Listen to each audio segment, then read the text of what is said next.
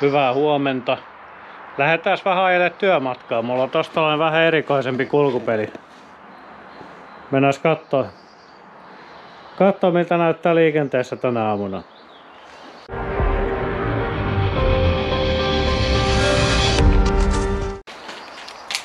Avaimet virtalukkoon ja nyt on niin valossa, että ei tarvi laittaa etuvaloa päälle. Laturi irti ja sitten lähdetään Laitetaan vielä tosta nopeusmittari. Virallinen nopeusmittari. Toi näyttää maileja. Mä en osaa maileja.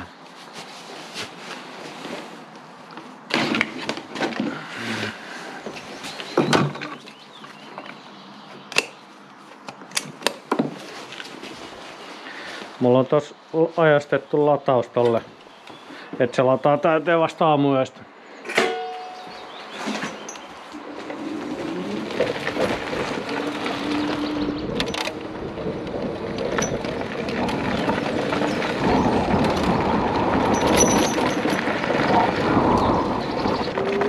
Sitten lähettiin.